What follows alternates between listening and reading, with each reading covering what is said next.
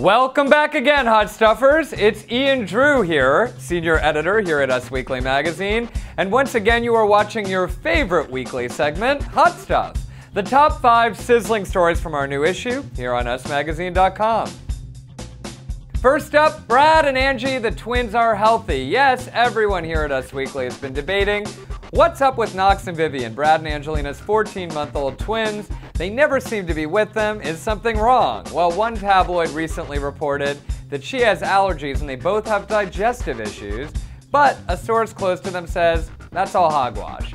They tell Hot Stuff everything is fine with them, they just don't go out a lot with the couple because of security issues. It turns out when they go out into town in France, they bring less security with them, so leave the kids at home.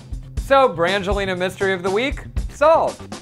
Now, what do we do about those slippers Brad wore last week?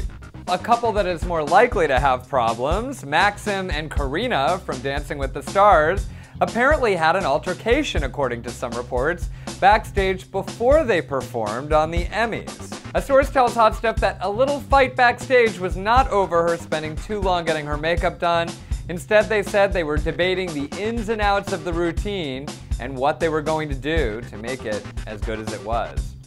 Well, I've got to admit, didn't see any missteps that night. And on to happy couples news. Jaime Pressly might have one fewer item to pack when she gets ready for her honeymoon after marrying Simran Singh coming up.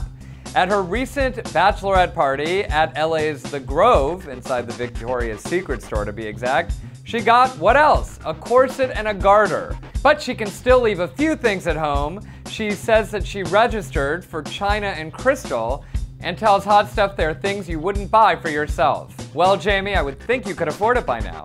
And on to someone else getting some goodies. Octomom hit up a gifting suite recently, right before the Emmys in LA, but she didn't get any swag for herself. A source tells Hot Stuff she actually picked up eight different sets of baby goodies for her kids, and her lawyer shares she didn't want to appear haughty. Well, Nadya, that's not the worst thing you could appear to be to people.